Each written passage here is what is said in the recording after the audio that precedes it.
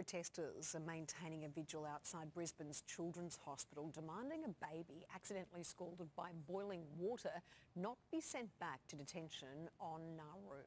The group, which includes hospital staff and doctors, risk being sent to jail if they don't release baby Asha.